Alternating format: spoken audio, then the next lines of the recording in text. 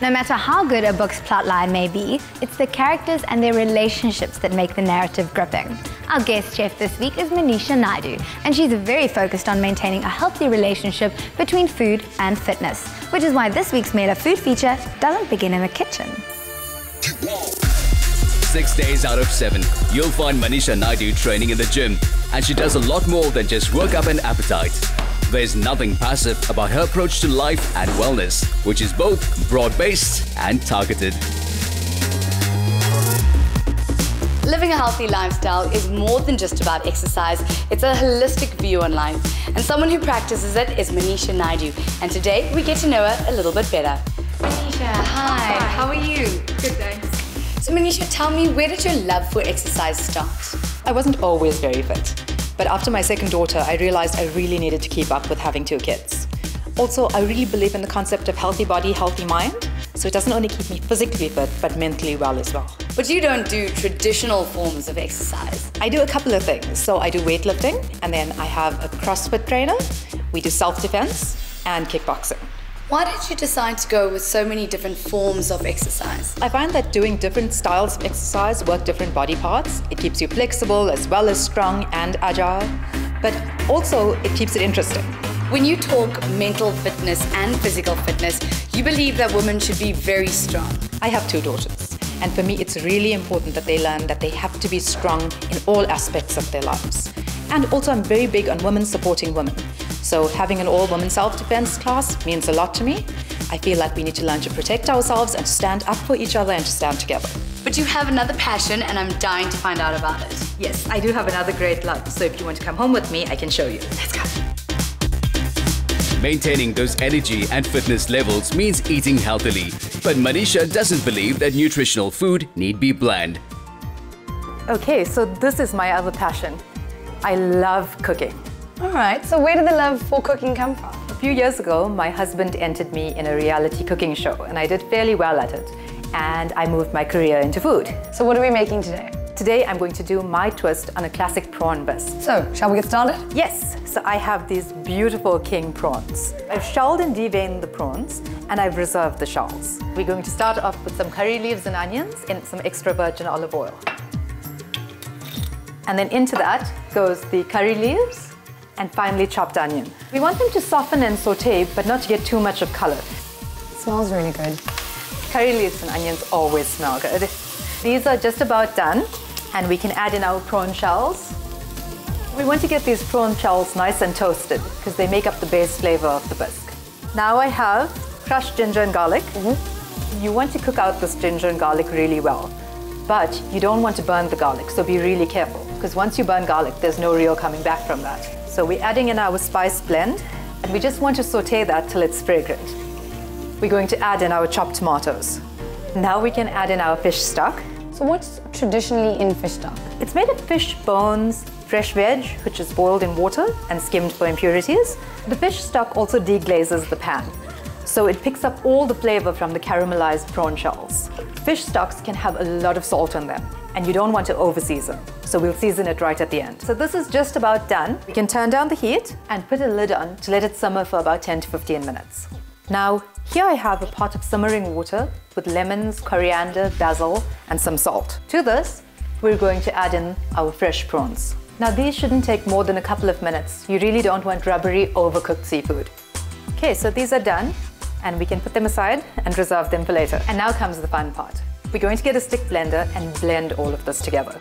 Classic prawn or lobster bisque is made with the shells blended in. Okay, so that's nicely blended. But to get a perfectly smooth and silky soup, we need to put that through the finest sieve we have. Now we're just going to push this through the sieve, and what we should be left with is a perfectly silky soup. And now it's time to plate. Okay. So to start, we have some ready cooked jasmine rice, and we're just going to roll these into little spheres. Now obviously to do that, you can't overcook your jasmine rice and you can't undercook it You either. don't want overcooked jasmine rice and you also don't want to put too much of pressure when you're rolling. Now we're going to roll them in some black sesame seeds. Okay, and those are done. Now I have here some beautiful colorful micro herbs, It's a mixture of coriander, basil, mint, Next, we have cubed avocado. This has been sitting in lemon juice, so it keeps the avocado from browning. Next, go on these rice spheres that we made earlier, our cooked prawns, followed by these finely sliced baby radishes, and finally, we pour over our prawn bisque. And there we go. Why don't you have a taste? I'm not even gonna argue that factor. Let's go for a prawn.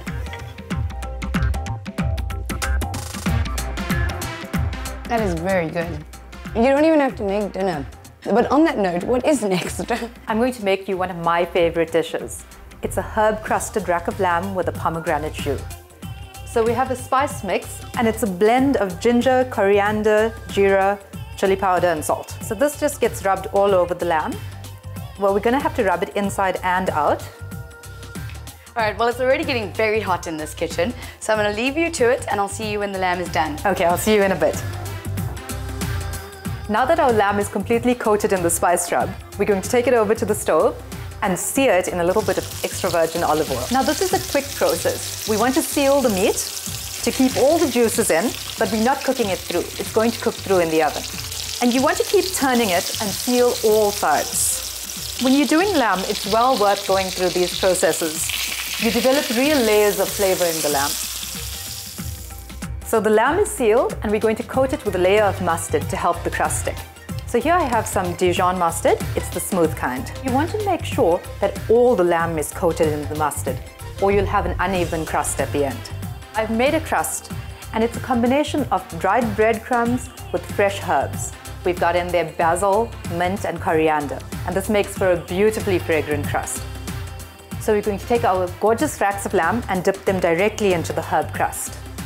Just make sure that all of the lamb is completely crusted.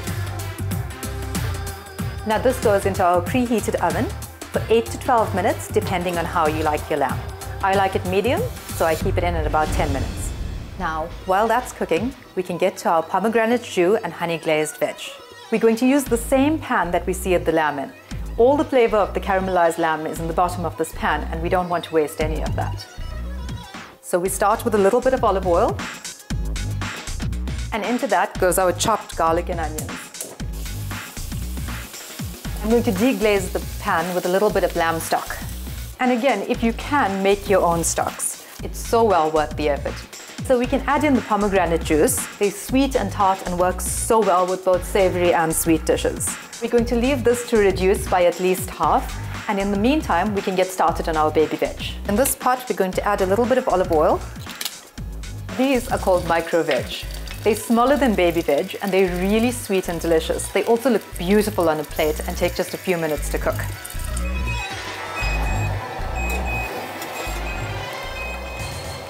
So I heard a timer go off. Well, the lamb is ready and we are ready to plate. Let's do this. So to start with, this is a minted pea puree and it's easy enough. It's just steamed peas with some fresh mint and cream blended in. And then we can put on our honey glazed micro veg, some of these delicious tiny carrots, and these are tiny onion bulbs. And we're ready to carve. I've let the meat rest. You always want to let your meat rest for at least half of the cooking time so it absorbs the juices. Now, if we hadn't rested the meat, all the juices would run out and we'd have a really dry piece of lamb. We can put this on the plate. It looks so tantalizing. So I have here to finish some caramelized onion puree. What I've done is cook down some white onions with garlic and thyme, and you have to cook them really long and slow till they get caramelized and beautiful, and then they blend it with a little bit of cream. This is really delicious. And then to serve, we have our pomegranate and lamb jus. It smells and looks so appetizing. So starters and mains complete. Now it's time for my favorite course, dessert. You know, I'm all about healthy eating, but I can't resist a good dessert. So I'm going to make for you today my chocolate poached pear with Amarula custard. Oh, where do we start? So to make our poaching liquid, we're going to put in some star anise and cinnamon, cocoa powder.